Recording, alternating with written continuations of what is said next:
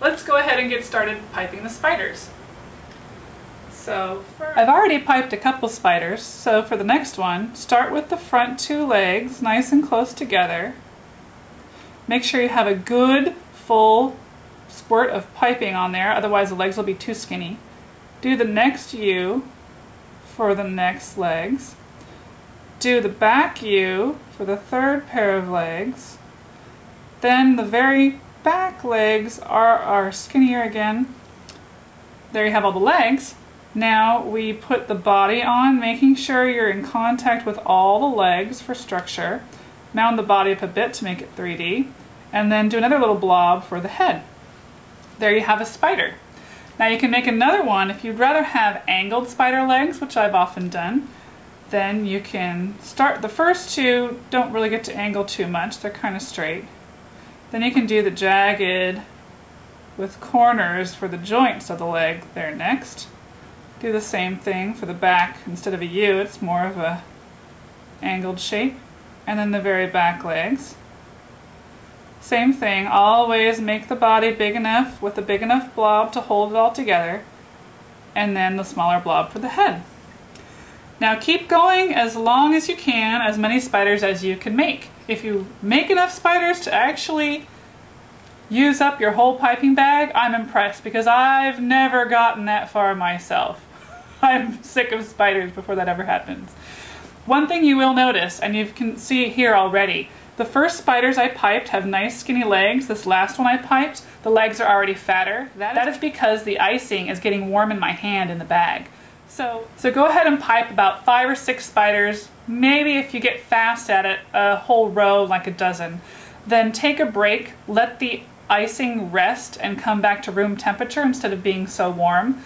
Your hand will also thank you.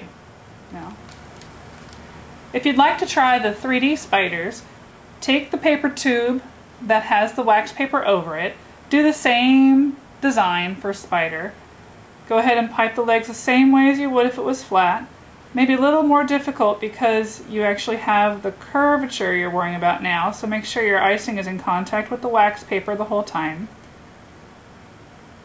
Go ahead and do the same pattern of legs. Same thing, make sure the body has full contact with all the legs. Mound it up, be a big fat spider body, and then the head. And since you're putting the spider on a curve, you can just have the legs go every which way.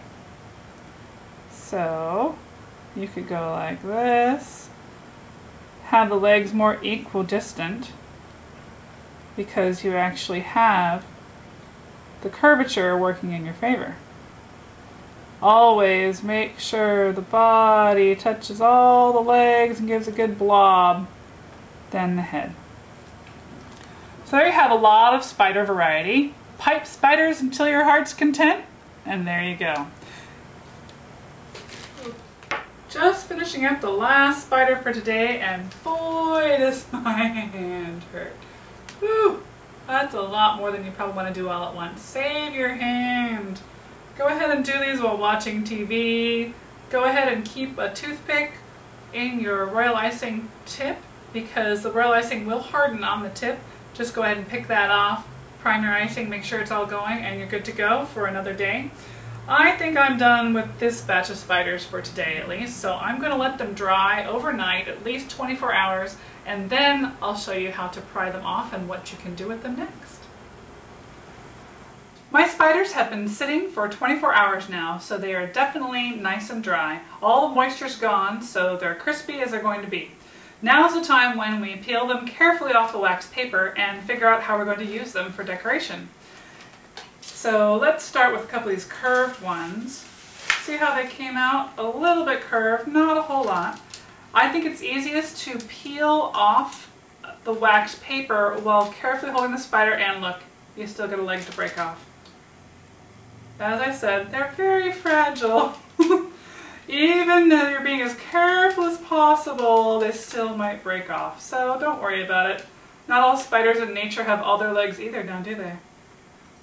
So I'm going to put these curved ones hanging off of the edge of the plate.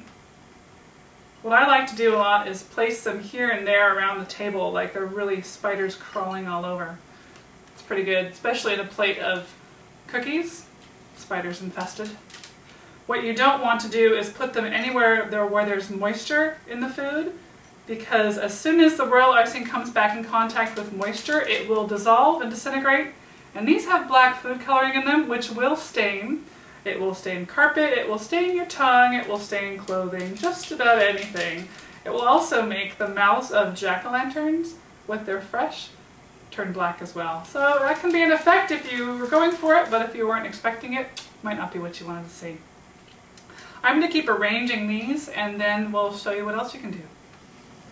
See what I mean? Even after all my years of carefully peeling spiders, I still have carnage of broken legs.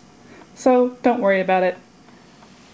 As you can see, when they're all crawling out of a plate or tucked around your other food, they are definitely going to look like a bunch of spiders, whether they all have their legs or not. Here I've peeled all the spiders off. As I just showed you, there are lots of legs left over, but as you can see, when they're all crawling over each other, you're not going to miss one leg or two. They still look very spooky. Also, if you have one leg missing, go ahead and tuck them underneath the cookie, under the edge of the plate, anything else you can think of. That I like them sprinkled around my table rather than all clustered on a plate, but I don't have the whole table ready to show you today. You can see the curved ones actually stay curved off the surface, and the flat ones are easy to lay down and, and crawl around the other food. One thing to mention is if you notice when I was peeling them, I never peeled holding on to one of the legs. I always held the body pretty much from the head to the base of the tail, held it that way, and then very carefully peeled the paper back so that I wasn't actually putting extra stress on the leg, as little stress as possible. So here are the awful arachnids. I wanted to show you that you can keep these for a long time as long as they're kept away from moisture. I've had these in this jar I think for two years now. Now they're not really very good shape because a lot of the legs have broken off, but you can see there's not too many that uh, have completely disintegrated into unrecognizable spider shape. These would be good for a potion or two clustered in a jar, stick in your potion. It will make your tongue turn black, that's for sure. I hope you've enjoyed watching today. For more projects and recipes like this, you can buy my book, Eerie Elegance, which is available at eerieelegance.com. I hope you have a fabulous Halloween and happy haunting!